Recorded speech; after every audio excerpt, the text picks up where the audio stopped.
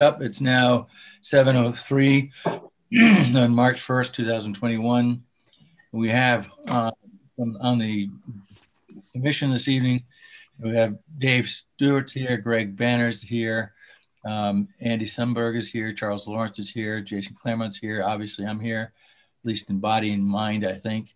Um, Paul's not yet shown Phyllis. Uh, Ibbotson had contacted me and said she wasn't going to be able and obviously Roger's still on leave. Um, so we do have a quorum. Uh, first item on the agenda would be the minutes of February 1st, 2021. I guess I have to sit, continue here. There we go. Anyone have any comments about the minutes of February 1, 2021, aside from the fact that they're, as usual, excellent? I would then I uh, make a mo- motion to uh, accept. Any seconds? I'll do Second that. Charles Lawrence. All those in favor, say aye. Aye. Aye. All right. Roll call. So it's Dave Stewart, aye. You made the motion. Greg Banner, Aye. uh, Andy Sundberg, Aye. Charles Lawrence, Aye. Claremont, Aye. And the chair votes aye as well. So that's all good. Play it by the rules. Um, I'd like to make a motion to move ourselves down to new business if we could. Um, new business two, G2, uh, so we can uh, let Ben off the hook as soon as we reasonably can. We've got the Bowen brothers here um, for reconsideration. So could we have a motion to move to that, please? Banner motion. Second. Okay, motion uh, made by Banner and second by Andy Sundberg, Dave Stewart. Dave, Aye. uh, Greg Banner obviously made motion. Aye. Um, Excellent. Charles Lawrence, Aye. Jason Claremont, Aye. chair votes aye. So universal, unanimous. All right, uh, we're gonna move now to G2, the Bowen Brothers application for reconsideration. This is the, um, I'll let them do the explanation. Uh, Gentlemen, you're on deck. Thank you, Bruce. Uh, I have a statement here that I'll, I'm happy to read, and I'm also happy to submit for the record should that be necessary. So I'm Patrick Bowen. And I'm John Bowen. We're from Little Compton, as we had mentioned uh, before, uh, but we're no strangers to Tiverton also. We're happy to appear before this commission tonight to discuss our proposal for a modest one acre oyster farm in the Sakonnet River, adjacent to Seapowet Creek. As you are aware, our initial proposal was submitted in December of 2019. And in accordance with state procedural guidelines, we appeared at a public hearing before this commission on February 17th of 2020 for the purposes of a preliminary determination. At that meeting, we spent one and a half hours discussing our proposal and answering the questions of commissioners, state CRMC aquaculture coordinator Dave Beutel, and DEM representative Anna Gerber Williams. Also in attendance that evening was Mr. Philip Capaldi of Charlestown, Rhode Island. Mr. Capaldi, apparently familiar with some of the aquaculture farms in the western part of our state, voiced concerns relative to nearby shellfish areas.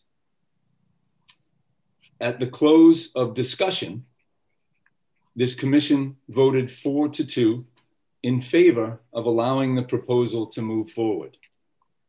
The two dissenting votes cast by Mr. Core and Mr. Duart were based on the quality of water in the area and the location within recreational shellfish areas. A follow up report written by State CRMC Aquaculture Coordinator Beutel noted that the Commission, the DEM, and the objector all stated that they would not have an issue with this farm if it was moved to deeper water adjacent to the proposed site. Based on this valuable feedback and in accordance with the intent of the local preliminary determination hearing, we modified our original proposal. We shifted the proposed site into deeper water and outside of the DEM recreational shellfish map area. We agreed not to transport aquaculture cages across the state DEM parking area. And we agreed to use a boat to place cages and to work the site if necessary. With regard to water quality concerns expressed at the meeting, we obtained the data from DEM in the annual, triennial, and 12 year water quality reports.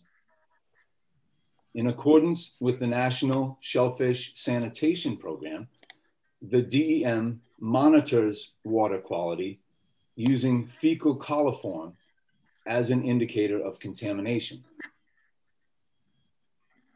In reviewing these reports, it was determined that DEM had incorrectly interchanged the data from Almies Brook in Little Compton with the data from Seapowet Cove in Tiverton. In an email from DEM Water Quality Supervisor Lucinda Hannis, she recognized the error in reporting and stated that, quote, since your application is near station GA4-17, Seapowet Cove, the fecal coliform variability comments would not apply to those waters. That station has been consistently in compliance, remaining low and fairly constant since at least 2016.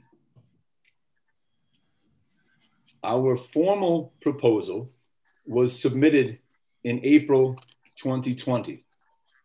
And according to Mr. Beutel, addressed all of the concerns raised at the preliminary determination hearing. Our 30 day public comment period began on April 17th and was scheduled to expire on May 17th, 2020.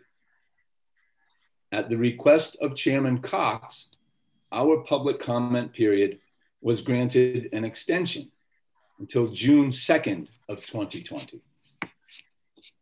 Also noteworthy is the fact that a link to our proposal and application was posted on the homepage of the Town of Tiverton official website. The overwhelming majority of correspondence received and on file for this proposal is positive and supportive. Included among that correspondence is a letter from Mr. Philip Capaldi, who thanked us for our modifications and complimented us on our character for discussing his concerns with him after the hearing. There have been no letters of opposition received from adjacent property owners.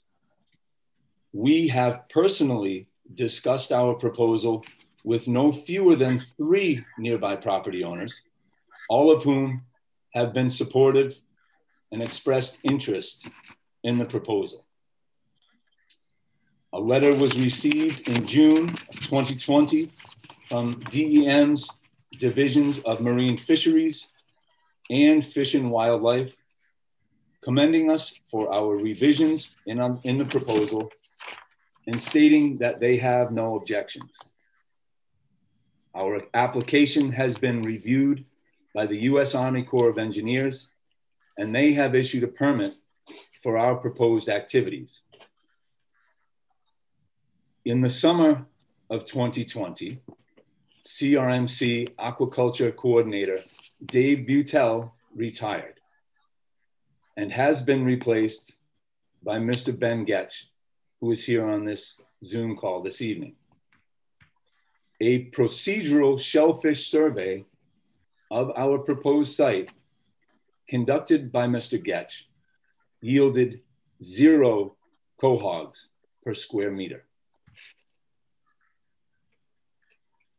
As we discussed at our initial hearing more than a year ago, the accessibility of this site could be ideal for educational purposes. We have reached out to a teacher in the Tiverton School Department, as well as faculty and administration in the Marine Science departments at Roger Williams University and the University of Rhode Island, indicating our willingness to work with students from grade school to graduate school. We look forward to the possibility that this small farm could become a place where young and old alike could learn about the wonders of the natural world and the benefits of high quality, locally produced seafood. We intend to sell our oysters locally, keeping our carbon footprint small and allowing local people to share in the bounty of our efforts. This commission has raised concerns that this farm would disrupt the food chain and negatively affect the ecosystem in the Sakonnet River. It is important to note that oyster farming is almost universally regarded favorably for the ecosystem services it provides, including its ability to reduce coastal nutrient loads and improve water clarity. The Nature Conservancy recently established a new program called Supporting Oyster Aquaculture and Restoration, through which they purchased 5 million oysters from farmers to create oyster reefs for water quality improvements. Additionally, nearby municipalities in Massachusetts are planting oysters to assist in meeting total maximum daily load requirements as mandated by the EPA's Clean Water Act.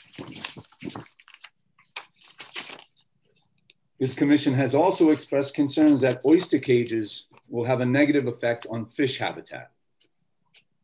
However, researchers at the University of Rhode Island in 2004 actually found that shellfish aquaculture gear provides substantially better habitat value than shallow, unvegetated seabed, and equivalent or better than submerged aquatic vegetation.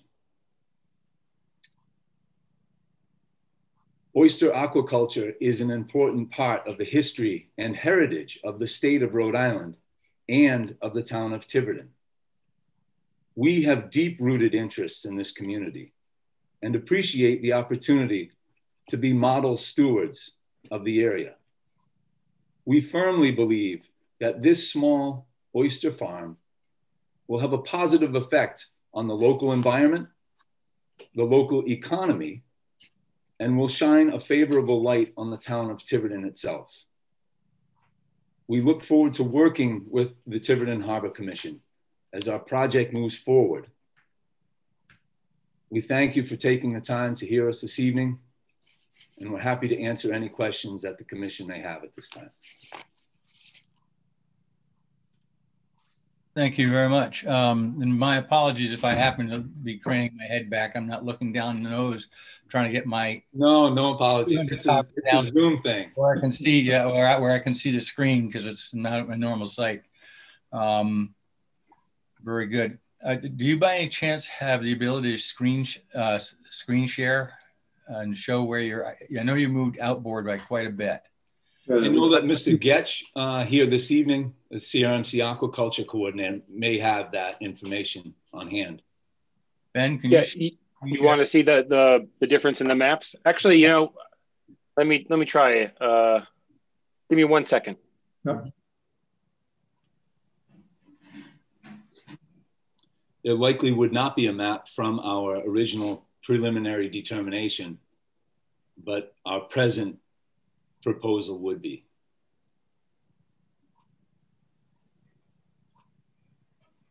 While he's doing that, hey, this is Greg. I'm taking the minutes. Donna, are you uh, Donna Cook from Town Council? Yes. muted. Yes, Greg, that is Donna Cook. Okay, thank you. I'm still muted, Donna. I, I just realized it. Yes, I'm here. Thank you.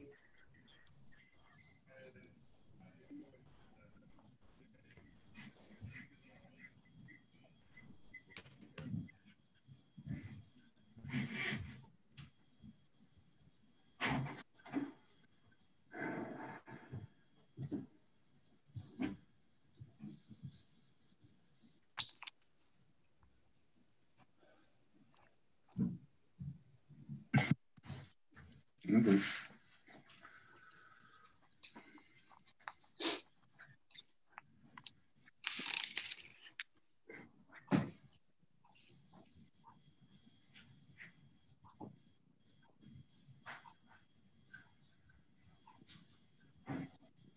I ha- I had a question about the farm. This is Tyler, the harbor master. Sure, Tyler, go right ahead. How, how do you do, Tyler? Good. Um, the buoys that are out there right now is that from the first proposed um oyster farm or are those updated? Those buoys represent the four corners of our proposal.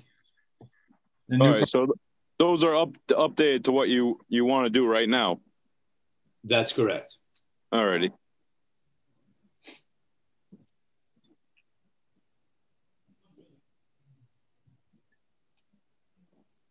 Hey, Tyler, do you know if there's a mooring um, present within that area? I believe um, previously there was one existing mooring within the footprint. Um, if that's correct. Yeah, I believe there was uh one resident, but it's not in. Um, Okay. he hasn't used it in a few years. But I, I looked at it. I actually looked at the proposed farm. I think it was Saturday or Sunday. I seen all the buoys out there. But there's no moorings over in that area. Good. Apologies, but um, I'm just I had to remotely log into my work computer. So let's see if I can make this work here. Um,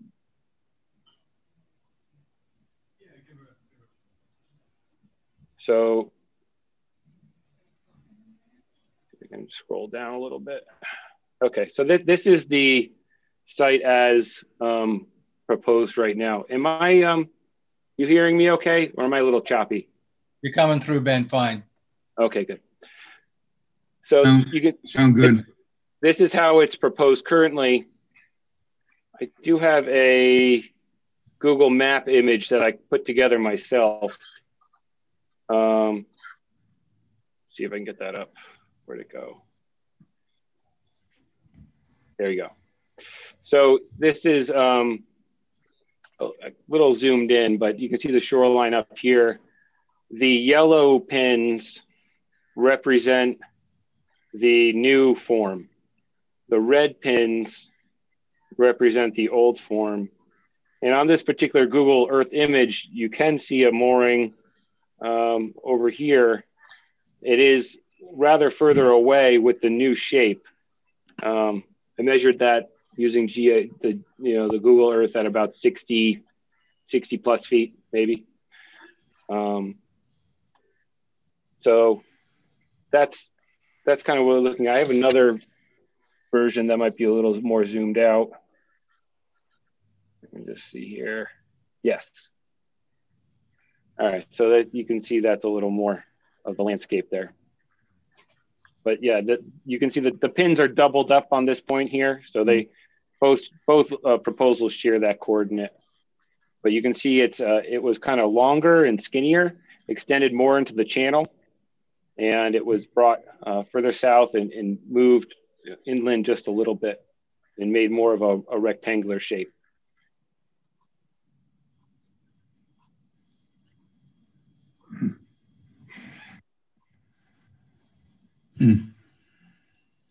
Well, I'm the one who raised the issue about the uh, impact on the on the uh, on the whole river, right? Because there is much that comes washing out of the Seapowet Marsh, and that is supplying the food chain not only just right there, but what happens there has downstream, downriver consequences. This is an improvement. Glad to see it. We still see they're creeping in on where the channel is there. You can see that channel right, you know, right now goes between the outboard most, well, yeah, yellow pin and the uh, red pin that's uh, got the Bowen 1.0 on it. So this is clearly an improvement compared to have where it was before. Wish they'd been a little bit further away, but this is an improvement.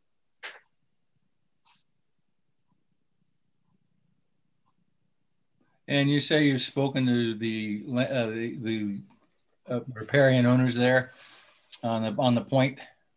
We have spoken to three people, all of whom own property in the immediate vicinity of abutting the water there.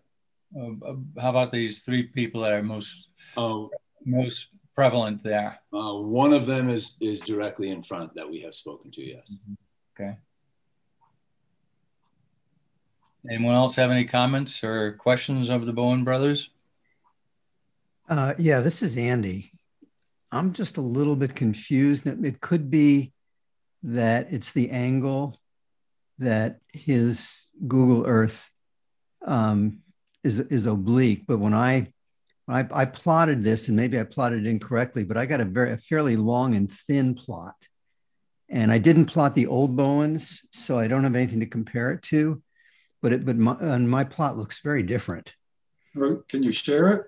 I think so. Yeah. I mean, these these coordinates have been verified by uh, DEM. They use a particular coordinate format. Uh, it's a decimal only. Uh, the coordinates I used were the coordinates that were vetted by DEM, and they line up with the DEM map that was provided with the application. Well, let's okay. see. Let's start off with that. Tell me if you can can see that. This is a different application you're looking at here. This is uh, this is Google mm. Earth. But this is a different this is a different aquaculture application. Andy, uh, I think that's the uh, yeah. Boehringer and Lundgren application you got plotted there. Ah. Okay. Right. It's further uh, south, right? right. That's interesting because these are the ones I must have the wrong app. Okay, I get it. I've got the wrong application. Yeah, never mind. Your screen there, where, yeah. where going, brother. I, I was I was reading the wrong document. So uh, I apologize, and I will turn the screen back over to you if I can figure out how to do that.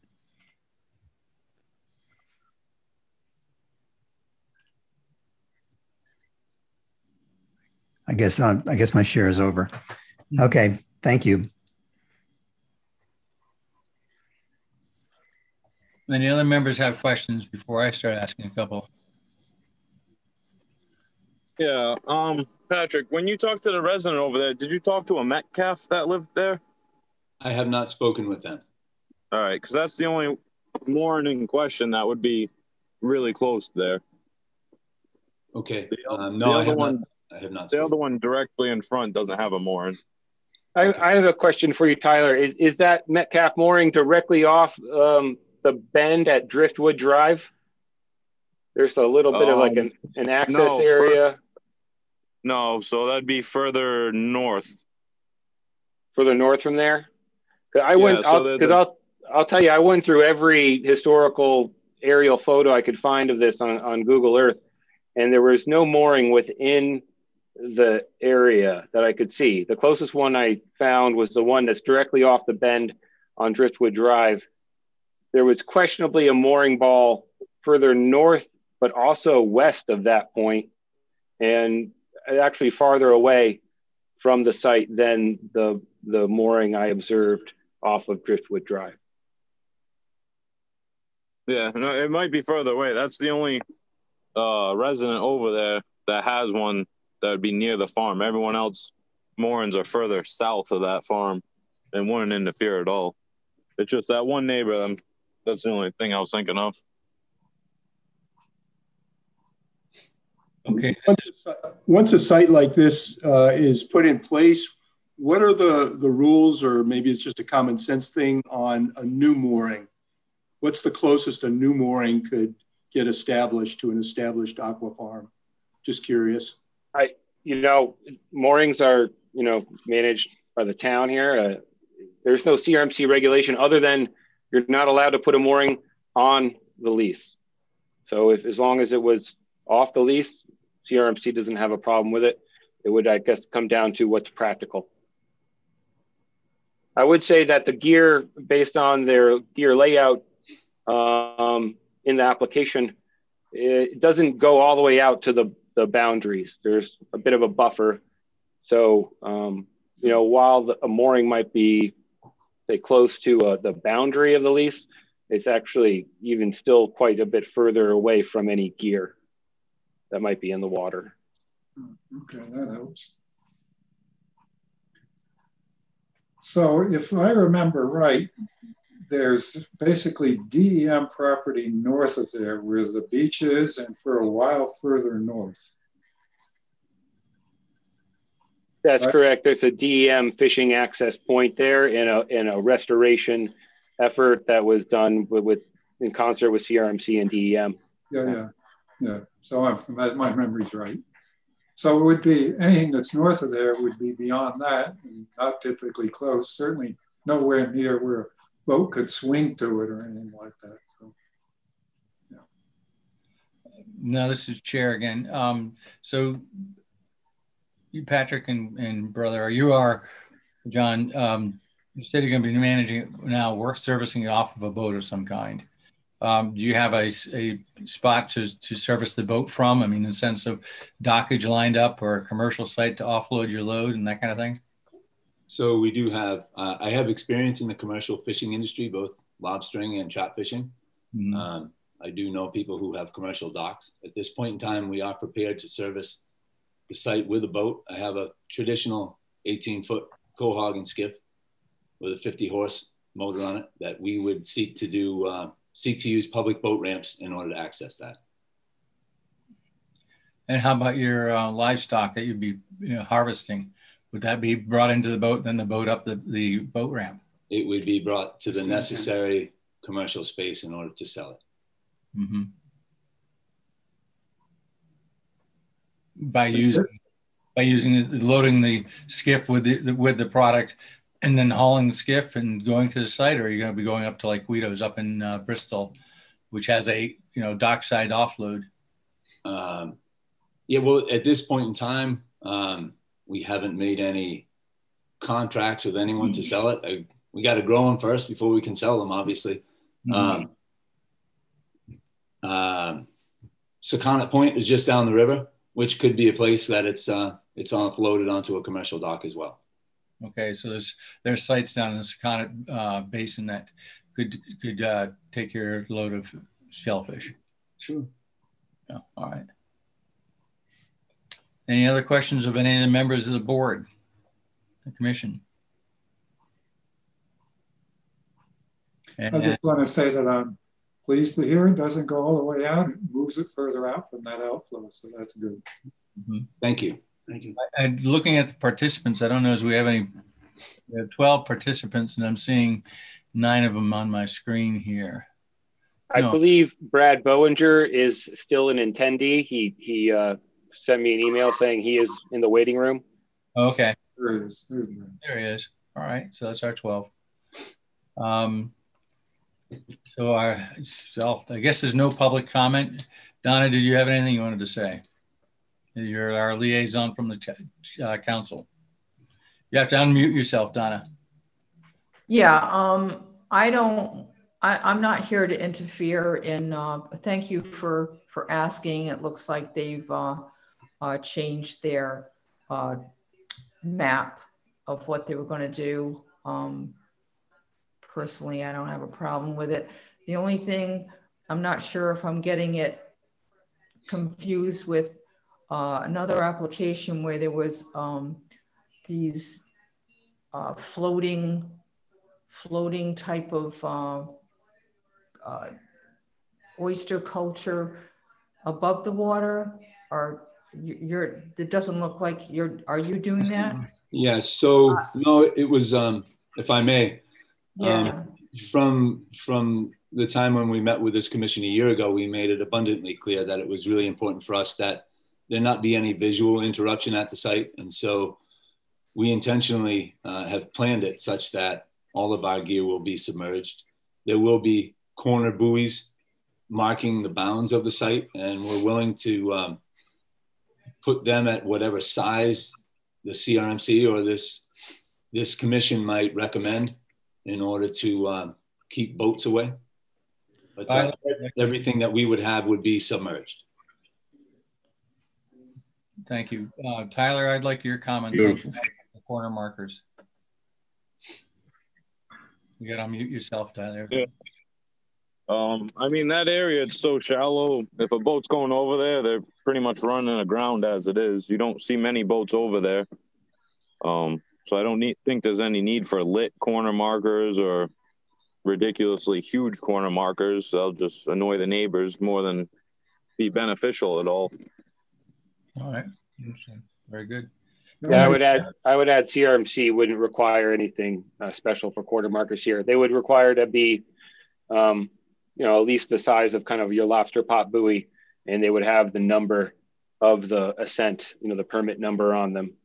Um, but other than that, uh, other other things like floating gear would would require uh, more specialized marking. The only craft I've seen in there are kayaks will they be able to identify where your traps are okay? Absolutely. Um, you know, we've, we've spoken about this, uh, about the possibility that, as noted, the location is such that it, it enables a place where we might be able to act in a positive light and, and show the benefits of aquaculture to people who might be kayaking by, who, who would be able to kayak right over the site with, without interruption. I see. Do you know what the mean water loader, mean low water mark is there? It's between two and four feet. Oh, I see. So your trap's not that high. So mean, so it, it differs uh, around the site, Of but course. generally speaking, it, it goes uh, between 24 and 54, 48 inches, something like that. Yeah. Southwest corner is about 54 inches. Uh-huh. And the nearest one is about 24. And your traps don't put, come out of the water at 24 inches. That's correct. They're, um, as noted on our application, they're uh, 16 inches Uh-huh. from the runners on the bottom to the top of the cage. Very So similar to a somebody's lobster. trap Might hit your traps if they didn't see it. So that'd be the worst case. Okay, thanks. Thank you. So, members of the commission, anyone care to make a motion at this point if there's no more comments? Make a motion to pass it. I think it's a great, great program, and I think they've done a really good job. May I have a second to Mr. Stewart's motion? I'll second. That would be Jason. All right. All those in favor, uh, Dave Stewart. Dave Stewart, roll call vote, okay. Um, Greg Banner, Yes. uh, Andy Sundberg, Yes. Charles Lawrence, Aye. Jason Claremont, Aye. and the chair votes aye. You got a unanimous approval this time, gentlemen. Thank you very much for working with us. Thank you very much Yeah, for your consideration. We look forward to working with you and uh, maybe some of you guys like oysters. We'll look forward to seeing you in the future. I know uh, there's some there's some demand in the Cox household for those. We look forward to it. Absolutely. Thank you very much. Thank everyone. Thanks, guys. Thank you, Ben Goetsch. Thanks, Ben. Good job. Excellent, thank you. Uh, so the next Thanks, item, staying in the new, Ben. staying in a new business zone and that Ben is also involved in is the uh, Boehringer and Lundgren application uh, 2021-02-054, um, which has previously on the preliminary determination received a green light from this group. That's the um, site that Andy had actually the coordinates for before. And they've given us a new application that shows those coordinates um, more thoroughly. Um, I'd sent that around to the group and actually we got one piece of correspondence and that was uh, from DEM and their comment was they don't have any objection to it. Um, um, Mr. Lundgren, who's online. So good evening, sir. Hey, yeah, good evening, guys. I think Travis is afar and unable to put on the video right now. Oh, okay. Uh, but I'm Brad Boehringer. If I haven't introduced or met you guys past, but I'll be speaking on behalf of both of us. If anything to ask? I got to compliment you on the new chart that you sent with the, the full formal application showing the existing aquafarm and the proximity of yours to it. It uh, made it very clear to you. Great. Yeah. So have you made any other changes at all, Brad? Uh, no, no. We, I think there was, no, I think between the time of our first meeting and now, we haven't altered anything. No.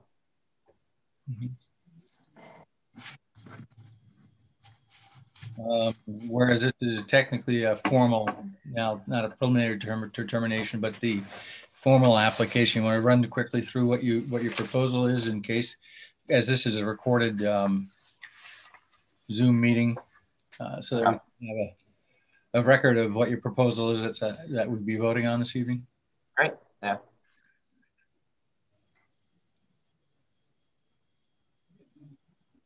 So the floor is yours, Brad.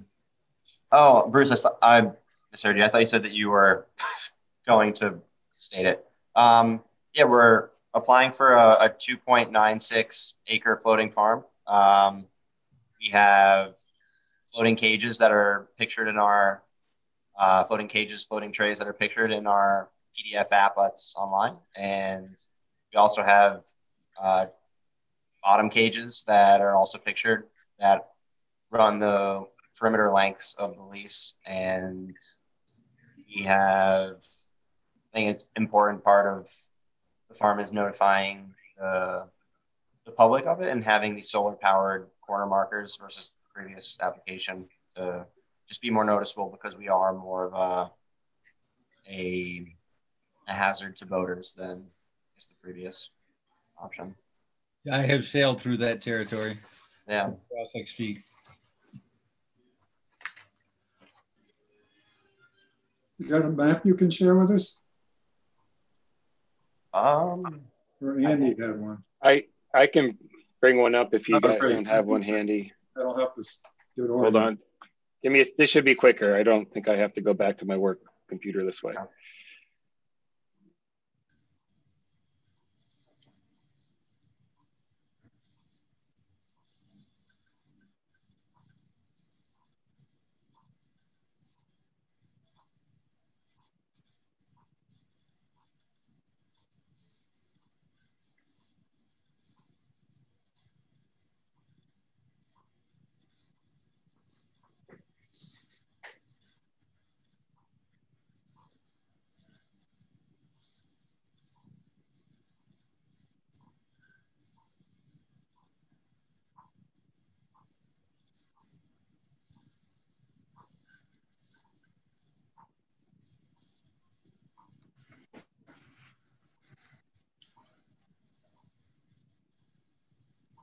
Okay, so here's the um, public notice. Let me get down to the map. Here we go.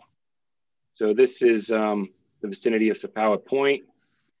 Um, this long rectangular site is the proposed uh, area. It's currently in, uh, you know, in public notice. This is the existing uh, Carl Berg uh, site, uh, which has been there for a number of years. That is a sub, uh, submerged cage site. Um, so this is nautical chart again. This area, uh, the hash yellow line uh, is the DEM recreational shell fishing area. So you can see it's intentionally positioned just outside of that. Uh, I should say it's, I think, about 400 feet offshore. Um, yeah, this diagram shows some of the rough distances, though it's not terribly legible at this scale, but um, you can see uh, 400 feet from the shore, about 300 feet from the jetty, and about 400 feet from the other lease, and and um, about 200 feet at its closest to the to the edge of the the channel there. Um, and to look at some of the gear diagrams. So rotate that. There we go.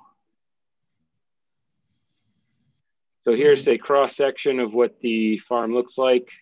Um, he has two types of gear proposed, uh, floating cages and floating trays. The difference between the two is really one is just smaller than the other. Uh, similar system otherwise. And these are the trays and the, the cages uh, in the winter position. They are sunk in the winter. Uh, they can also be sunk ahead of a, uh, a, storm warning, something like that. One of the advantages of this gear. Um, and this would be a bottom cage, uh, which they would be using as well to, to uh, store oysters on the bottom. Uh, again, another cross section of the area. Let's see, I'll turn it back around. So here's a picture of what the cage looks like. Um, you see the pontoons, and this is actually a tray, the wire tray below it. Uh, it's another picture of what this gear looks like, and that is the gear in a line. As you can see, the line is bending uh, ever so slightly in the in the tide. Uh, this is a picture of the of the applicant's current farm, which is in Point Judith Pond. Uh, so they've been farming in this manner for, I believe, a number of years now, maybe maybe five years. I think. Yeah. Yeah. yeah so um, they're familiar with this type of gear. Um, it's worked for them in the past, and uh, they're hoping it will will perform well for them here as well. Is there anything else you guys would like to look at? Would you bring us back to the map that shows us where it is with respect to the pilot point? Yeah, so let's rotate that around. Okay, so here's here it is on the nautical. Here's the the Bowen application down here in the corner. That that you can see is the original uh, form, though not the one we just looked at. Um, so they are there's the bridge, the DM area, parking area is here. This is quite a ways around the corner. Uh, there's two stone jetties here. Um, there's uh, really no houses directly on the shoreline here. It's kind of farmland. Um, and as I mentioned, they're about 400 feet offshore.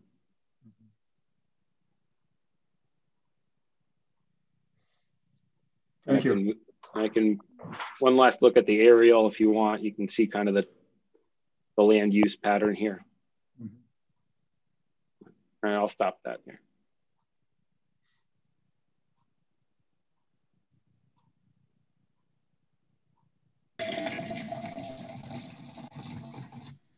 Does anyone have any questions of the um, applicant? Same question as earlier, the uh, access to the site, boats, and offloading of product. What, what's the plan for that? Um, we have two different uh, Carolina skiffs that are both in action right now, being used for the same gear and down in Point Judith Pond, and one of them is going to be brought up to either Don's Marine or one of the commercial uh, marinas that's up between the bridges. Um, the moment we find out that this is able to be pushed through and um, we can start putting gear out, we'll probably just be um, trailering one of the Carolina skiffs to be able to do that because it'll only take a few different days to set up the farm. Um, but then once we get into routine and scheduled work, like weekly work on the farm, we'll secure a space with one of the marinas. And at one of those commercial marinas, we'll be able to offload the, the shellfish.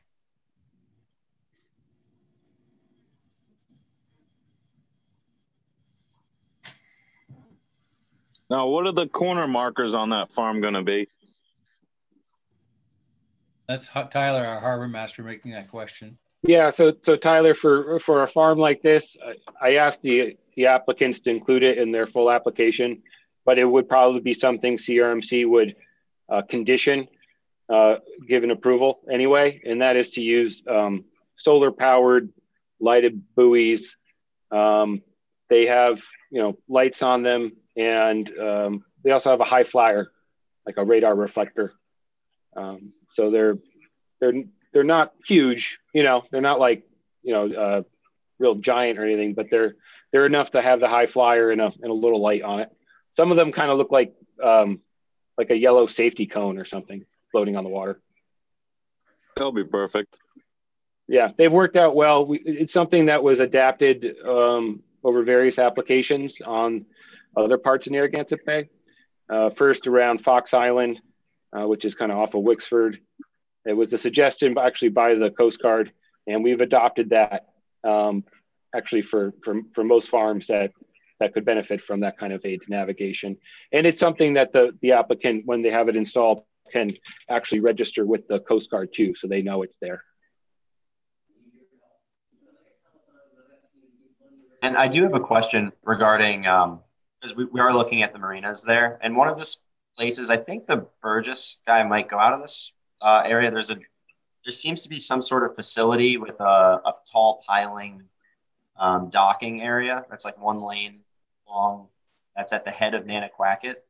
And I wasn't sure if, if you guys knew who ran that facility or what that actually is, that space. I personally do not know who manages or owns that. Uh, other board members may. Members may.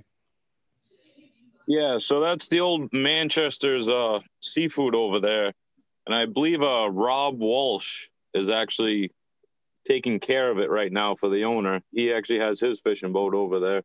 Okay, is that um, active? Yeah, As so Rob Rob has two fishing boats there. He goes out in the summer with, and there's another one there.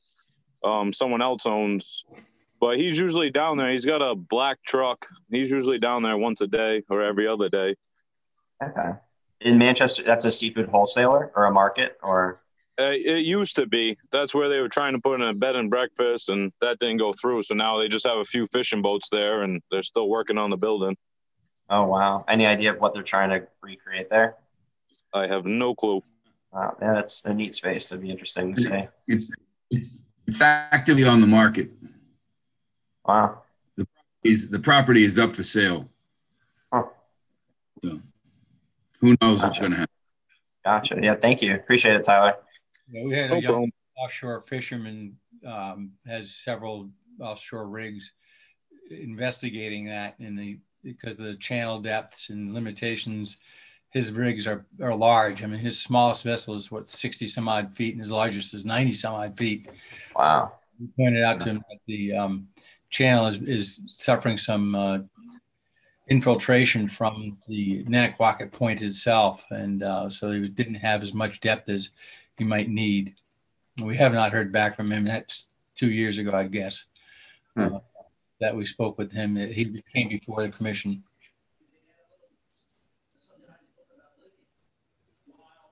Gotcha. That might be a good good spot. I mean, they do actively have, and there's a there's a fish market right there as well. Yeah, it seems it seems like a nice. If there's already commercial activity, that's kind of where you we found it's easiest to to stay close to. Mm-hmm. Wherever it's being accepted and working, that's usually little more ideal. But yeah, thank you guys. That's, that's good info.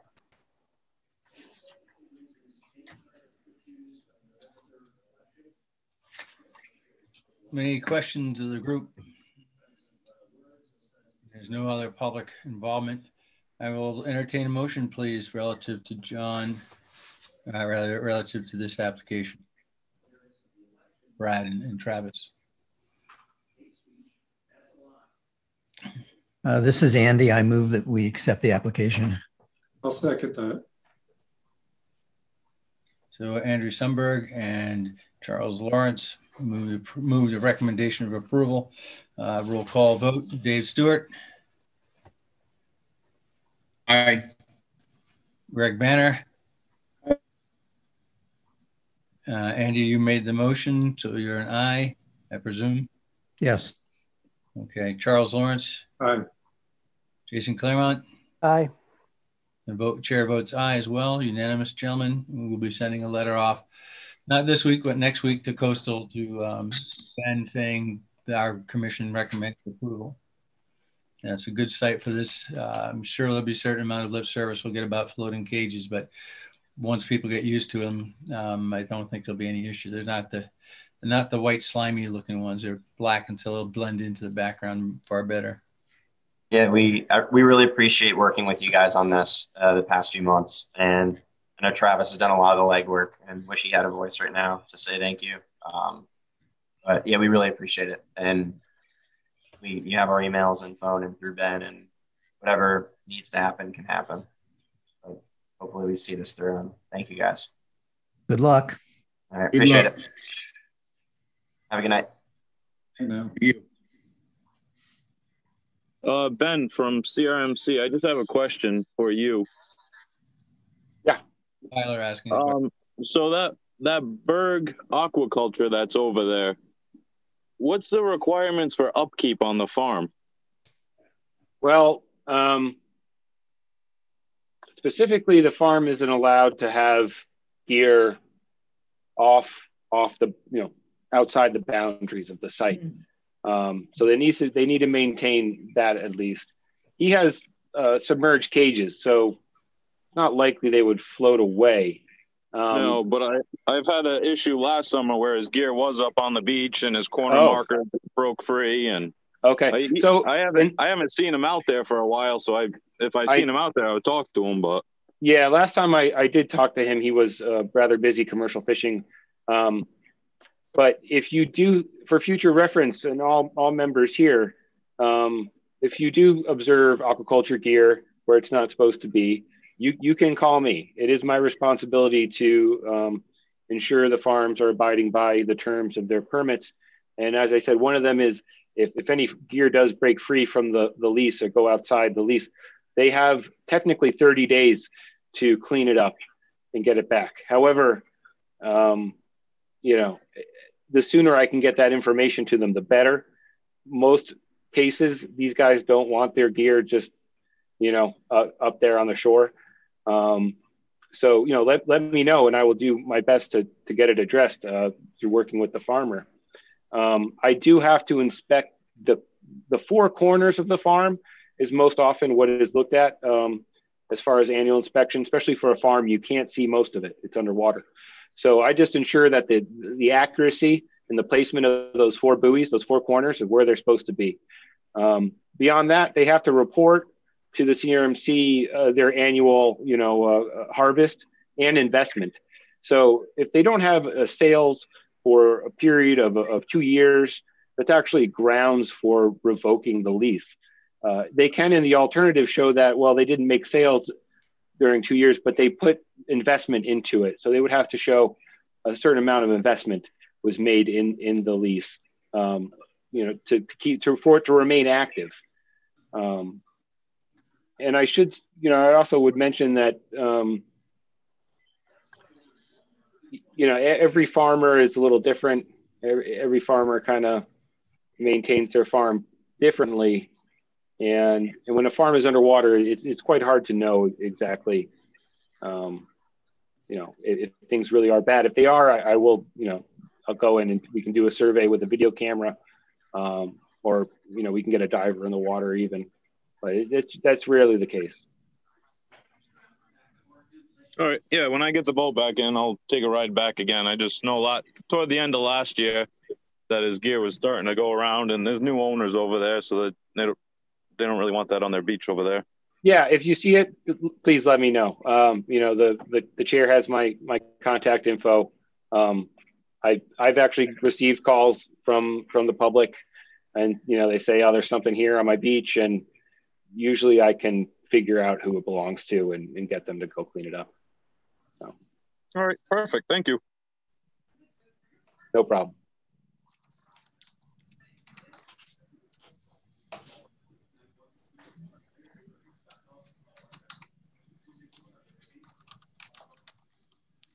Okay. So, um, turning to the top of the chart of the agenda, uh, we had a minutes approved. Public comment section action cannot be taken on by motion on topic raised. Any public comments from anyone at this point?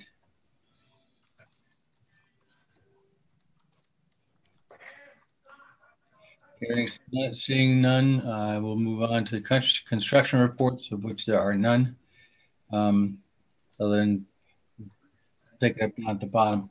Um, sea level rise, Charles Lawrence, Chip, thank you very much for a great presentation last month. That was excellent. Um, excellent. Thank you. Donna um, Cook, could I ask, is, is the, have you brought this to the attention of the uh, town council in general, the concept of having Chip address the council on the sea level rise issue? Uh, no, I, I didn't know I was supposed to. Okay. Uh, didn't.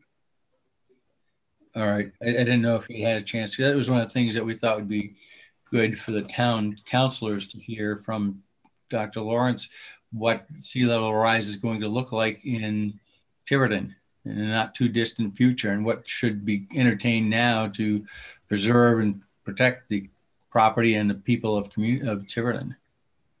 Well, um, what I was sent today was, uh, I'll send it to Chip to look it over, but, um, down in, uh, the Chesapeake Bay area, um, they did a very big study with, um, the Netherlands because they're below sea level.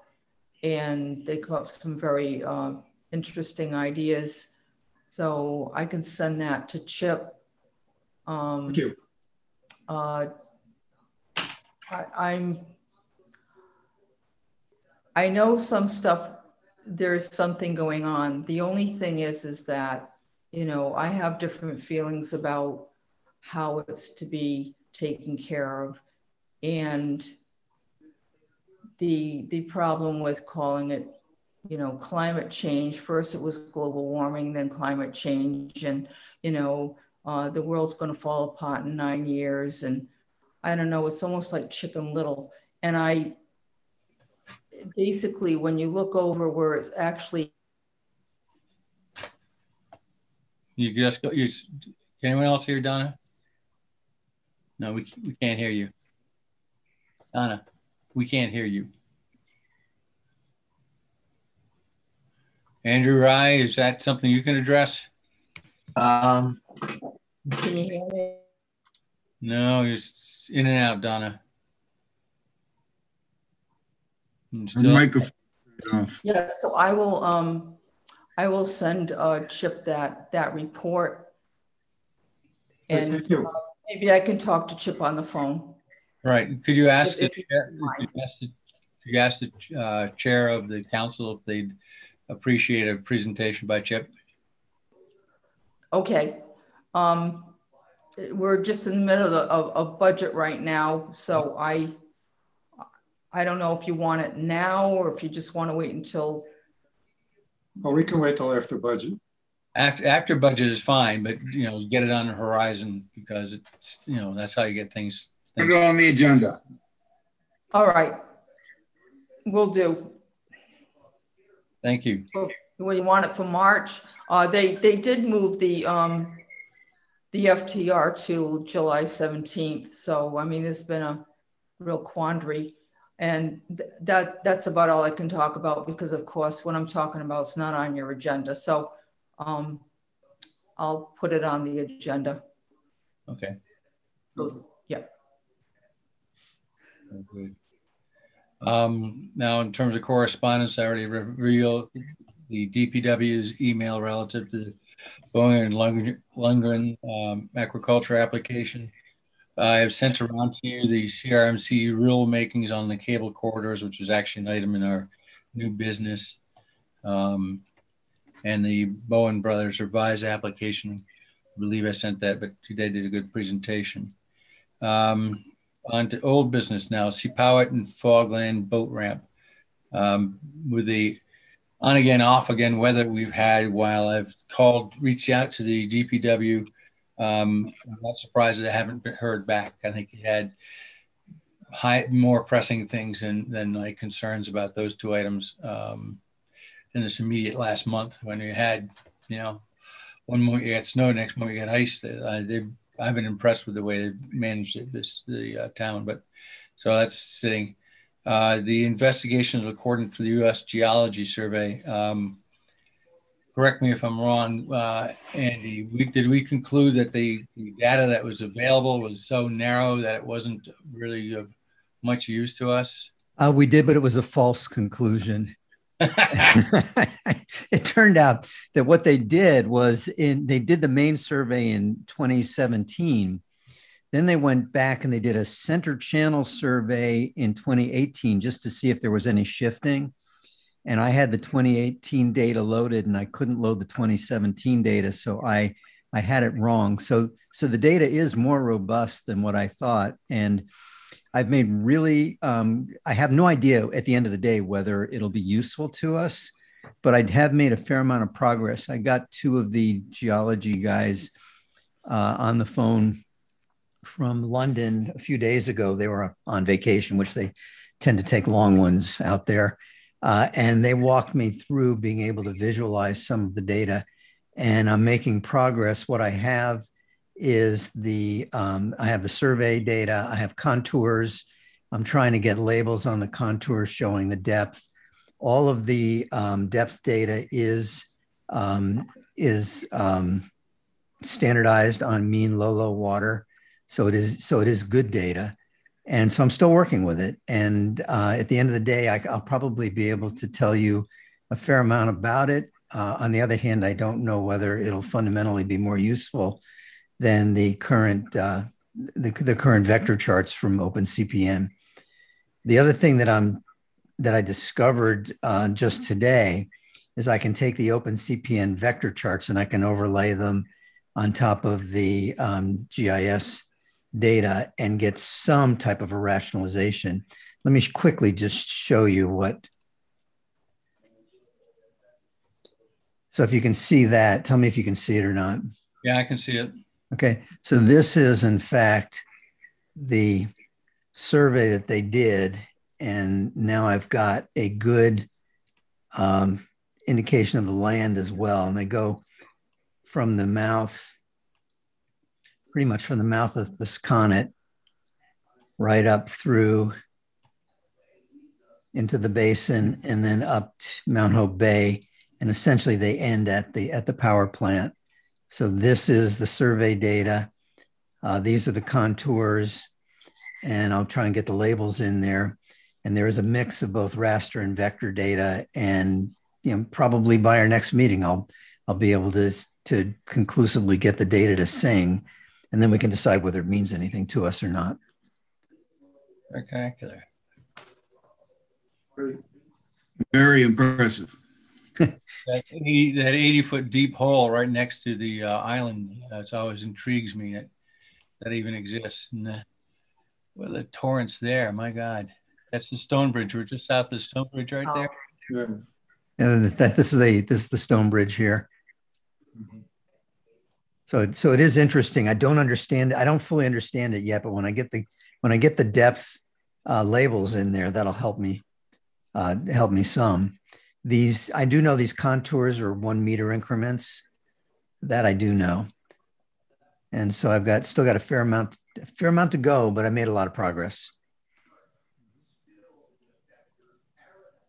I'm having fun if that wow. matters. yeah.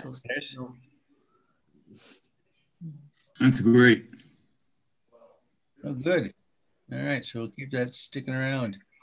Next item is a dinghy landing at Stonebridge Abutment, which uh, has more. That's old business, but it's it's new business. Uh, and you'll see down in the new business, the last item is the Stonebridge docks. One of the things I found out in uh, meeting with the budget committee this past Saturday, not this immediate past Saturday, but the prior one, is that with the COVID budget problems and whatnot, the the a uh, lot of capital stuff did not get spent. So that capital money was pooled by the uh, council.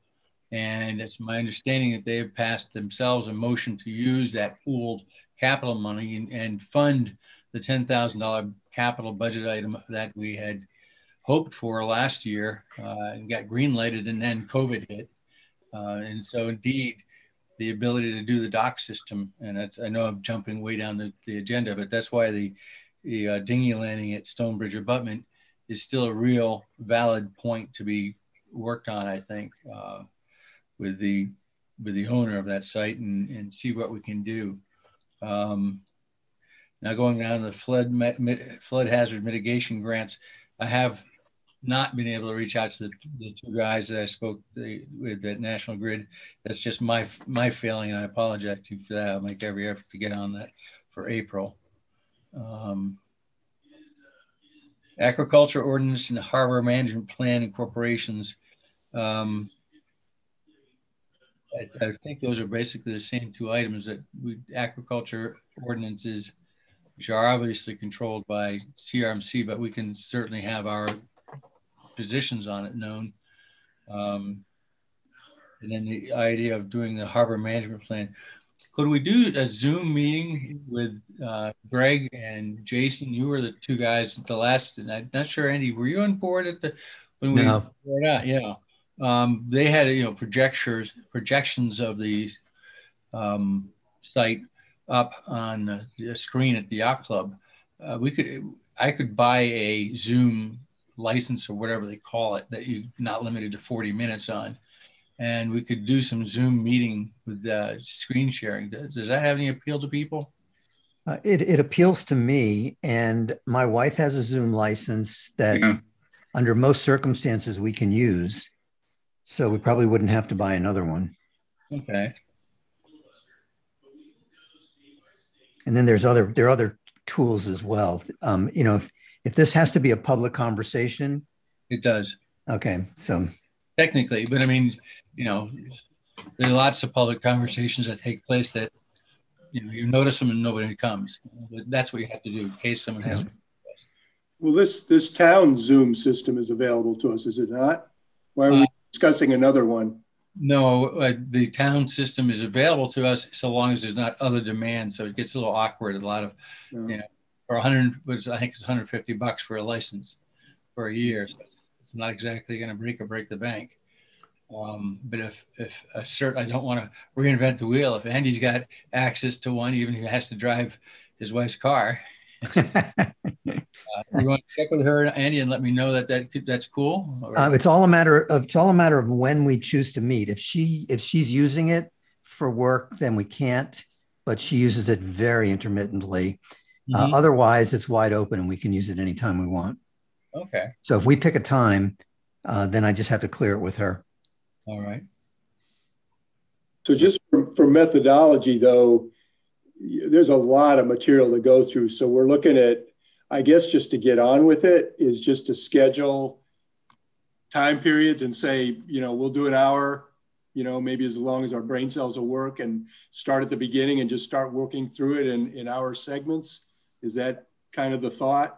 That's that's my thought to be compliant with the open meeting rules. I, I found out the other night when uh, at the open meeting seminar, I always thought you know we're an advisory commission. We're not required by the um, the open meeting laws to always post our minutes and such. Well, we are an advisory commission, not an advisory committee. So, in uh, deference to the solicitor, I'm going to start putting our minutes at the Secretary of State site, and I hopefully don't bollocks it up too much. Um, because it's, it's not that hard, just one more step um, to be done. Um, so yeah, it's as I recall, no one wants Friday nights. We always meet on Monday night. Um, and it depends on my professional position. It's all over the ballpark where when I'm working at night and when I'm not. Uh, so it, you can't run anything by me and say you're guaranteed I'm there, but I think this ship runs fine without me. um, so why don't we select? Is, there's a um, a calendaring site. What's it called? Um, Something like Doodle or some, something like that. yeah, Let me check. Andy, if I could impose upon you to do that, if you set up some kind of calendaring thing and send it around to the boards, and we can get our preference dates to the members. Sure, sure, I can do that. And then we can, you know, I'll click on what will work for us. And if we have a known conflict, we can say that's a known conflict, but all we need is five of us to grind away. And is the idea that you want to meet one night a week for whatever it takes? Or, or more than you know, multiple nights a week if we can. You know, two, Okay. You know, if people are game for that, people game for that. I got a smile on Chip's face there. I mentioned. Yeah, I mean, I'll just tell you, my, my work day is all computer and conference calls and stuff, and I'm fairly brain dead. I don't know how many nights I could add on top of, you know, to do the same thing at nights. I mean, one night here and there is fine, and a weekend occasionally is fine, but I, I have my limitations, and I just won't be useful to the cause. You're zoomed out, do you? I, What's I that? second that. Yeah, I mean, I think one session a week is maybe reasonable that I could. And then that's fine. And we'll be making, at least we'll be making progress because we've been paddling, you know, nowhere this thus far. Great. So if Andy, you'll do that, that'd be great. So you'll put together Okay.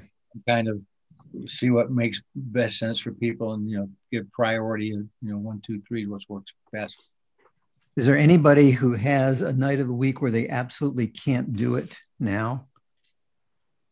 First Monday of every month. Yeah. And I'm I'm shot on Wednesdays. Mm, Fridays are probably not favorable. So fig Monday, Wednesday, and Fridays. Days. Who who who who was the last one weighing in? How about Tuesdays? Okay. Yeah, Tuesdays might I be. Other than the fact that you that you don't want to go brain dead, Greg, Tuesdays are okay. All right. So um so today's Monday. You want to do one a week from tomorrow, or do you want to try and get one done tomorrow? Uh, I'd rather do a week from tomorrow because I'm up in Vermont and I can tell you right now, I uh, need a need a better padded chair than this hard thing I'm sitting on right now. Okay, I'll send out a Zoom invite for a week from tomorrow, um, seven o'clock. that would make uh, next That's. Tuesday, next Tuesday. I, in fact, have a professional conflict, but I expect that that will not be too long. It starts at seven thirty, so I can jump in and jump out, um, and jump back. The joy of Zoom. I can be. in two places. Are, are there other times that are better than seven? No, I think seven is a good time. People have time to get home, get dinner, and, and then meet. Um, I don't know if you noticed, but I shut my camera off a couple times tonight. That was when I was putting food in my mouth. so, uh, okay, so I'll send out a Zoom invite for a week from tomorrow, seven o'clock, and I'll do one for, uh, you know, for for a couple of successive weeks after that, and we'll see how it goes. That's good. That's good. need to figure out how, how we work the format. I, I did the, the screen thing when we were at the yacht club, but I don't really have my head into the content at all right now. Jason has kind of minded that, but how, you know, how, how do we plan to portray the information and edit it is kind of the question. Well, any one of us can actually take the screen and show the information. Um, J- Jason, are you kind of the keeper of the of the master document at this point? I mean, everybody should have access to it at this point. I've sent it out multiple times. Yes, you have. Google Drive, so um, I don't feel beholden to be keeper of it. Um, I'm unfortunately unable to type right now, so I wouldn't be really good at um, putting it up on the screen and and keeping keeping along with it. I think what's really going to be helpful as we move forward in this is um, you know, understanding that everything has to be done in the public forum as far as getting it into the management plan is doing some background work, um, pulling some sections together and getting some language that we can pop in there and then talk about during the meeting, um, you know, nuancing the language, especially when we're talking about the aquaculture. Um, I don't know even what we want to call it, but you know, sort of the, the overarching aquaculture language that's going to go in. Mhm. So, um, but yeah, I think that the document should be pretty accessible to everybody. It's a really, it's a large document because it has a lot of the imagery of the um, uh, coastal access sites in it now that we work through. Um, so I think we have a pretty good working doc. Um, but but yeah, I think you know, I think I think the first meeting will probably be going through the mechanics of how we're Mhm. going to do this, and then you know, And- as we move forward, I, I, I think we'll once we nail that down, uh, we'll we'll probably be more efficient. Now, now, what do we do about public notification? No, you, we set a time and I just, I put it up. Uh, Okay, so that's like next Tuesday. Um, so tomorrow we couldn't do it. We need to have 48 business hours in essence. Okay, and so, for, and, that's including, you know, so you can't include weekends or holidays. So for any time I post the agenda for the commission, I have to, like you'll see it frequently, it's Wednesday, so that I have Thursday, Friday. Uh, if I post it on Thursday, I sort of look at the agenda and say, do we have a controversial issue here or not?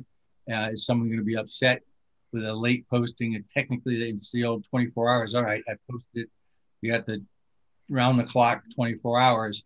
Um, I've, I've posted at the Secretary of State's and sent the email to the town council or to the town powers that be. It's up Friday and up, up Monday. It's it's playing pretty.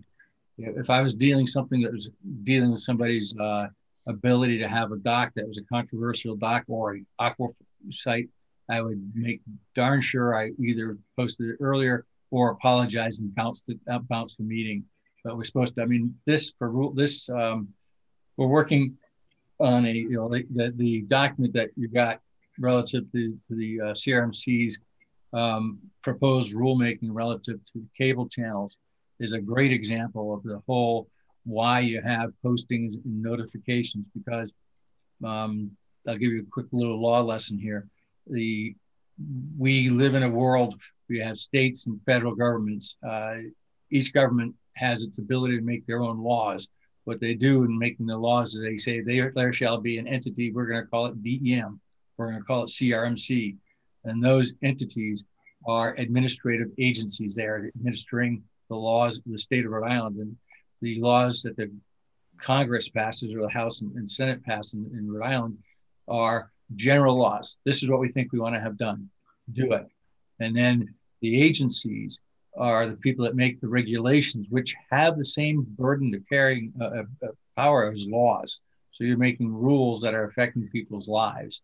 Uh, and that's why there's such stringent uh, open meeting law requirements, why um, you know they do this whole you, you know it's, it's a lot of reading as one person said and that's just to deal with where the submerged cables should be and that's actually on our agenda because i want to see if someone I, I, have a couple of thoughts i'd like to say send back to coastal about that um, basically dealing with the same thing we've managed to elicit from these people voluntarily but that's why open meeting is so important because you know yeah it's a harbor management plan what they do for different but what if we all of a sudden said riparian owners can't have moorings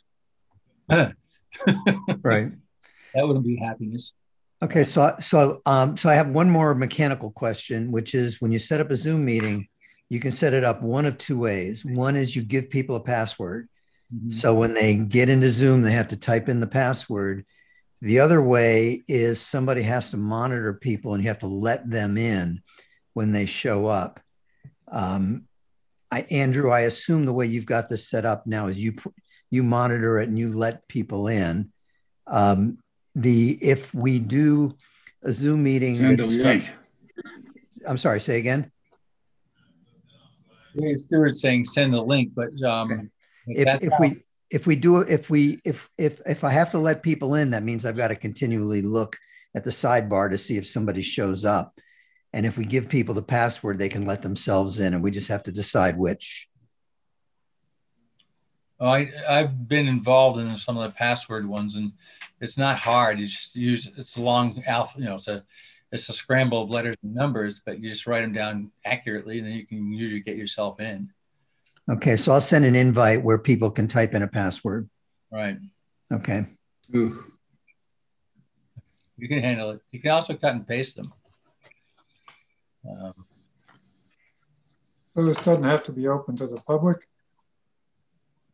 Oh yeah, we're we're making rules, uh, Chip. That's the whole point I was just trying to make is that it has to be open to the public. We're, we are proposing rules. The harbor management plan is rule proposals, the drafting at the very basic level, and it goes before the town council, and they bless it uh, after CRMC has said, you know. And, I understood that. I just wondered how were they going to deal with the passwords, the public. Yeah, keep it simple, whatever.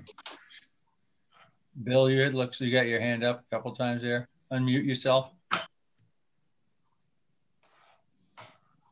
Bill, can you unmute yourself? Uh, Andrew, that? Bill Vieira over there. There you go. Bill, it looks like you're unmuted. Still can't hear you though. uh, Technology is great when it works, it stinks when it doesn't. Donna, you're not muted. Go right ahead. Still cannot hear you, Bill. Go ahead, Bill. Uh, Bill, um, mm, call in, maybe try on your phone. Okay. You're gonna try something different. Donna Cook, go ahead. Yeah, I'm, I'm, I'm just, um, I know I'm not part of this commission, but I just wanted to ask a question about, um, you're going to, I was quite interested in this, the uh, aquaculture ordinances or the harbor management plan. Uh, now, you can do it all at once and then have a hearing. I don't know how you want to do it. Well, the way, Do it- you want, the, the way it's been done in the past, uh, and we, we got jammed up uh, by two things, but um, at any rate, we got jammed up by one administrator. I was later on told by Kevin, very recently told by Kevin Cute, who's the liaison at CRMC, who works with us on the harbor management plan. Uh, he has the all the plans for the state and has been was very helpful in the past on it. Um, that we got jammed up by one of our administrators that we didn't even know about. I mean, we said we want to present this, we want to present this, and he jammed us up. Um, he was his Kevin is a is a pretty big guy and a, and a hockey player, and if you get Kevin mad, you, it's sometimes physically imposing. Um, but the um, I don't think we're going to have that problem now. But yeah, we we would, as a group, we we develop what we think is a good good plan. We give it to the town council, say this is what we think is a good plan. Uh, do you have any questions? Present it to you, probably on a you know on a uh, very high level, if you will, um, not getting into the weeds. Um, you can get into the weeds because you'll have the plan yourself if you want to get into the details and ask questions of us. And then with hopefully with a motion from the council, proceed to get, go to DEM for water quality permit and then CRMC for blessing. Oh, so it, it doesn't go to a, um, a posted hearing for 21 days in the town? It Yeah, goes to, the- the, through- through the council, right. yes, it's, it has to be posted for 21 days. You have the hearing and then people can, We, we would have, to- we'd have to follow the whole process of creating these regulations, correct? okay. Bill, let's see if you got it on board. Sorry about that. How, how you guys doing tonight? Great. A um, couple of things. Um, I did speak to Denise about your presentation um, after the last meeting. Um, between the COVID and the uh, and the the um, the budget, hoping to do it sometime maybe this summer. Uh, so I wanted you know I did speak to Denise regarding it and how that meeting went. But I we're not only we doing our, our regular meetings, but we're doing workshops, and it's just been flat out uh, pretty busy. So not that it's not important, but uh, all in due time. So we will speak at a later date in regards to that. Um, number two, um, it's good to have the Zoom meetings, but you're going to have to coordinate with other committees. Like maybe tomorrow, uh, next Tuesday is maybe school at that time. So if you are going to work with Tiverton videos and Zoom, you're going to have to, uh, you know, coordinate with other committees too. I, I was watching you on YouTube and just wanted to mention that. Well, I thank you. Um, I, I guess I should check um, about about the um, that um, about can we use a invite?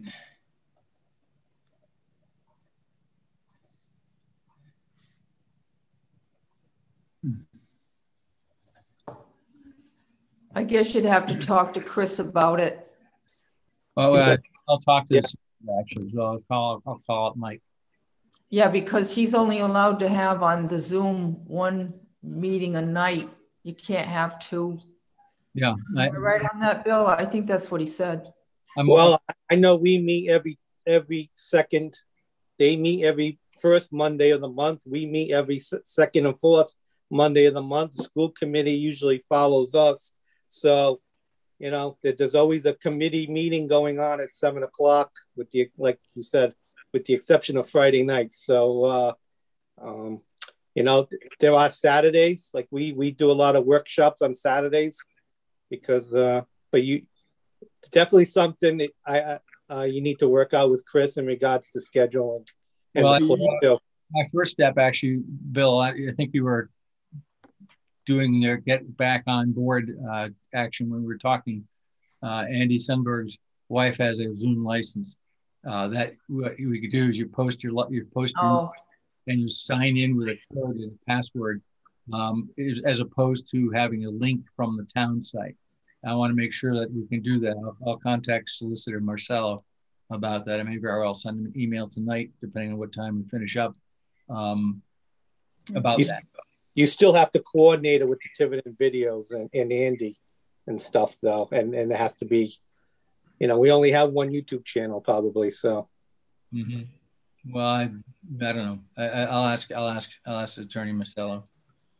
Hey, Bill, this is Jason Claremont. Quick question. You, you mentioned workshops. Um, is that a different category or type of meeting that, it, you know, with some different rules as far as, you know, public, um, you know, participation and whatnot? I, I, I know the, the agenda has to be made the same. Uh, you have to Okay. stick with the agenda. The time frame's still the same as to whether you need to open it up to the public. That may be, you know, in, in, in the course of your agenda and how you draft your agenda. Okay. Um, I, I was just concerned of you guys cross scheduling with other committees that may be going on at the time. Okay. Okay. Sure. Thanks. So would we be required to be live on YouTube video when we hold our meeting? Because that would be something that we really, that we probably couldn't arrange. I don't know if we are or not. I think it's, uh, I, I, that's why I'll, I'll ask the solicitor that question. Okay. I, I I know exactly how I want it, you know, how it has to be phrased and whatnot. So, um, excellent. So now going on to the new business, CRMC rulemaking um, on the cable corridors. Uh, that you know, big piece of printout that they got is kind of interesting. They the only corridor they talk about is over in the West Bay. They do a rather extensive, uh, you know, step by step up over to Quonset um, which is interesting, but uh, not as interesting as coming up the Sakonnet River. Um, did anyone have any co- comments? I know I'll say right now versus having people wonder what I was thinking.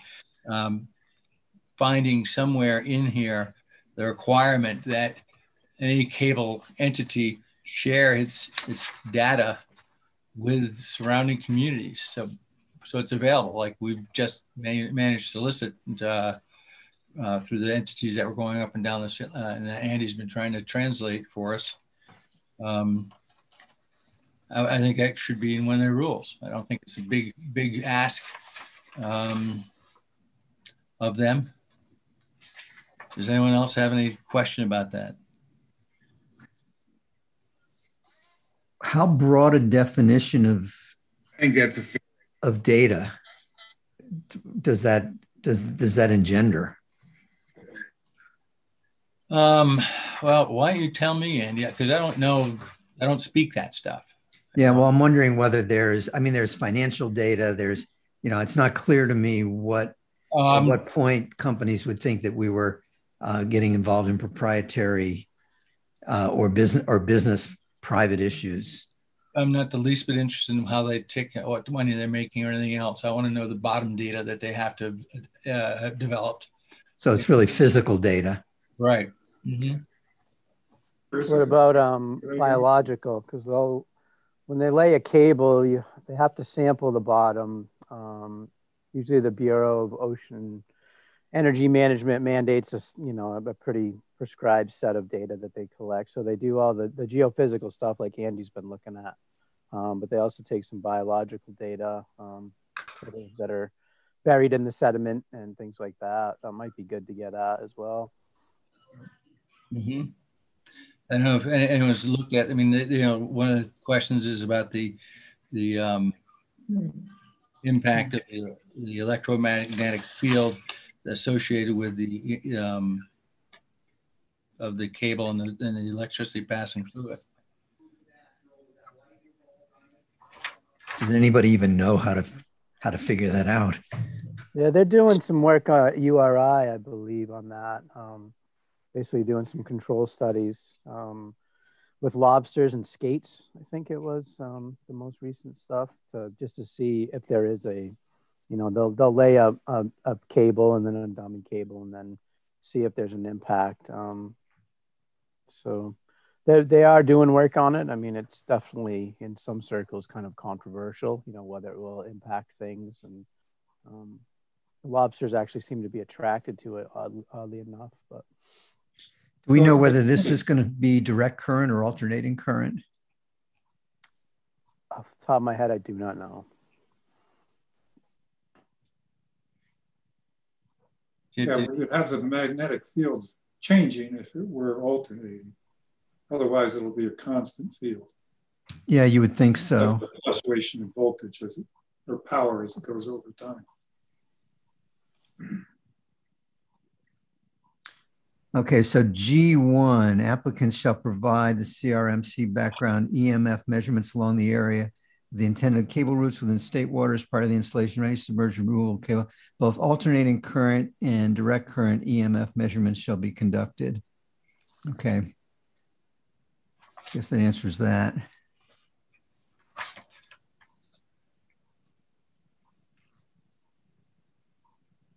like the hard part's getting through the harbor. Mm. Edges. Yeah, that data on the on the on the at, the, right at the stone bridge uh, could prove very interesting. And a little further up too, near the old trellis in that region, got a couple of rises in there too. Mm-hmm. Yeah, it's funny. I said to these um, these geology guys, the survey guys, something about running the cable on land, and they said it is just so much harder to run cable on land, and there are a million reasons why. And they just said it, it, it wouldn't even be a viable project if the cable had to be run on land. Hmm. Have to go through the harbor. Yeah. Okay. Well, we have some time limitations on this supposedly, but uh,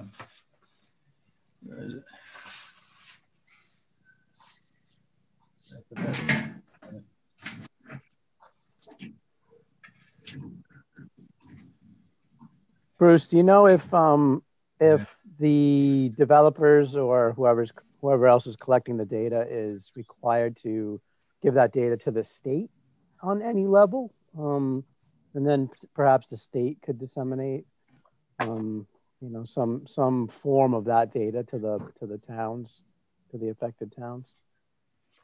No, I, I went through this and I didn't see something like that, so I was sort of like, okay, if it's, I don't know if that's part of their report or not. Hmm. Uh, it's a good suggestion. I don't know. I mean, you know, we got a hold of, of some of that data. So I, I don't think there's, I can't see, envision a, a reason that would need to be proprietary. Hmm. Um, I mean, I, I know some of these projects definitely are, but once they're in the works and you can see the boats out there and they're done collecting data and they're going to lay cable, um, I can't imagine why that data would need to be proprietary. Yeah, once they have the green light from the state, that data should be available. Right. It should be open. I think I think it's a good suggestion. All right. So I shall send a little love letter off to them saying on that. Um, next item, yeah, it seemed like in December we had this item uh, recommendation regarding the reappointment of the harbor master on our agenda. And Tyler, if you want to take it into executive session, I didn't put it on as an executive session item, but now the council, uh, rather than going, "Oops, we forgot," is going, "Hey, we can get this from them again." So, um, anyone have any comments regarding recommending the harbor master again? Shall Tyler keep his job? I Yes. Yeah. Yes. I vote yes. All right. Um, roll call vote. I had uh, Charles Lawrence and Dave Stewart first and second. So Dave Stewart, roll call vote. Yes. Aye. Uh, Greg Banner, Yes. uh, Andy Sundberg, Sure. Charles Lawrence, Aye. Jason Clemert, Aye. excuse me, Bruce Cox, aye, and so this Still got your job, Tyler. Thank you. I don't Congratulations, think, I don't think we're done beating him up yet. Thank you. Um, so the Stonebridge docks budget item is supposedly on deck. So, uh, so we should be able to, yeah, we got a ride herd on this thing and, um, you know, get them in there. Um, Did you end up going to the budget meeting, Bruce? yeah, I never got notice that you went, what, Tyler, anytime you get a notice from the town about the harbor commission and yourself, it'd give me a, a jingle. I'd really appreciate it because Bill Vieira is the one that actually sent me an email saying, Hey, you may want to. And I was like, what are you talking about? I haven't been told a damn thing. Yeah, no, I, I, I just assumed you were sent it too. I didn't know you weren't. I was surprised when I got there and you weren't. Yeah, well, I guess you did a good job because you got your budget approved and whatnot. Um, Donna's got something for us. pardon me? Donna's got something for us. Oh, I'm sorry, I didn't see Don. Go ahead. No, um, I, I just wanted to say that the, um, as far as the, um, the dock and the, uh, trailer, they were bought with the, um, carryover money in municipal, uh, capital account, which had, uh, five hundred and eighteen thousand dollars in it. So, um, we asked, uh, the different departments what was the most important thing for them, try to whittle it down and spend four hundred thousand dollars. We went a little bit over that, um, but pretty much no matter what happens, those things are going to be bought. That's not. Uh, that's already taxed money. It's uh, carryover money from the budget. So, um, yeah, and there wasn't any problem with Tyler's budget. So, Cool. so it's pretty good. Yeah. Excellent. And on to the harbor master, uh, Tyler. Um, either A, they haven't gone out, or B, you don't love me anymore. Uh, mooring renewal status. Have you sent those out? Uh, not yet. So the computer crashed, the system crashed. I got that back up, and I'm waiting on my missing desk to come back, which should be back this week. I don't have an office right now. Ah, God. I went there a few weeks ago and I didn't have a desk. Everything was piled up in the corner. And I guess my desk is getting exchanged for a different one. And it's supposed to be there either today or tomorrow. It wasn't there today. So I'll give them a call tomorrow. But they, they'll be going out this week. Okay. Well, if you don't, if you need a new desk, give me a call and give me a measurement because I'm thinking about something different in my office. I may have a desk that I have to either get rid of or donate someplace. And it's big surface area, but I want to rearrange my office. Um, all right. Yeah. Because, you know, the, the town's to be looking for that money. and uh, I guess we can't have late, late fines anymore, at least not this year. And the boat's all, any, any, any projects going on in the boat at this point, Tyler? Um, yeah, everything's getting serviced on it. um, the decals are worn off the side, so those are getting replaced. Um, the spotlight wasn't working last year, so that's getting replaced right now. Um, what else? There's a few other little things in the cabin that are getting cleaned up and fixed. Um, pretty much just general maintenance and making sure everything's turnkey, ready to go. No, no, no big projects this year. Great. You're negotiating a price on a nice, nice trailer to be able to move it around with? Yeah, so they gave me that price last year, and I just checked to make sure the price is still good and hasn't gone up or anything. And that price is still good. So if everything does get approved and I get the okay, I'll order it. Well, I think you can order it now. If I understand from Donna correctly, that's money that's in the uh, council's uh, capital budget, that money they have right now to be able to spend. Am I correct, Donna? Um, yeah, Yes. that's what I was told. It's, it's, that's not even gonna be, it, it, those items are off the budget because people, you can just buy it. So, um, I How think, the it? pers- yeah, the person to talk to would be, um, I would, I would call Chris and, and double check on that. But that, that money's available. All right, I'll uh, I'll send Chris an email tomorrow. I just I don't want to order and see the money's not available till July or something and tie the company up. Yeah, because we already told um, the department heads to that the, the money's available and they could, you know, put out to bid like the DPW what they needed. Um, I think the uh, the police. Uh, so yeah, check with Chris. All right, thank you. You're welcome. Excellent. Okay.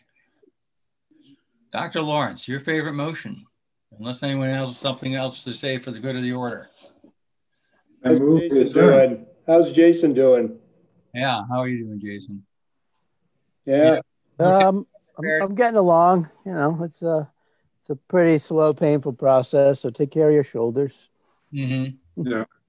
Do your PT. It's a lot of fun. Oh yeah, it's it's uh, it's been it's been good. Hey, I just have one thing to bring up real quick before we close. We don't I don't need to be- belabor this because I think it's already sort of come to pass. But the um, I'd sent around a little bit of information about the um, the new wetland buffer rules um, from the DEM. It didn't make it on the agenda, but um, I I'm think sorry, I didn't see that, Jason. I I apologize if I'd That's okay. Um, it, I think it's just good for us to be aware that there's a new um, a new set of um, rules that came down from DEM that takes the jurisdiction for establishing buffers around wetlands um, and other um, other water features, I guess you could say. Uh, it takes that jurisdiction out of the town's hands, and um, it, it basically sets a statewide standard for those. Um, it, it seems in most cases, and I'm not really familiar with what Tiverton zoning laws are and, um, around um, riparian features and, in ponds, lakes, and wetlands. Um, it, it seems like in, in a lot of cases, um, it will extend the, the buffer zone in some towns, but where towns have more, um, you know, larger buffer areas, it's actually going to shrink them. Um, so it's just something to be aware of. We might want to, if, if we have a chance, you know, I'll, I'll take a look and see if I can dig out what what Tiverton actually has on the books um, as far as their zoning laws. But as as as we are the harbor and, and you know coastal waters commission, it's probably good for us to just be aware of that change that's coming down. So is Um, that a DEM wetlands issue?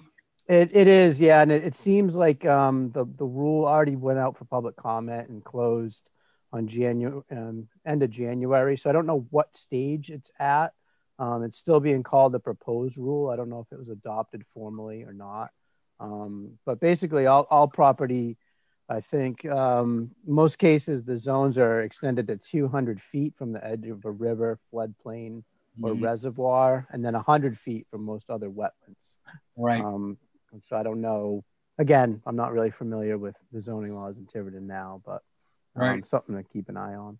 Yeah, and in contrast, um, CRMC jurisdiction over freshwater wetlands, um, as contrasted with DEM's, was established by a, um, uh, an agreement that the two entities reached uh, several years back, so that they literally drew lines around the state where they had coastal features, wetlands, and then freshwater wetlands in general proximity to one another. And if you're on one side of the line, you're in coastal jurisdiction for the, even the freshwater elements of it.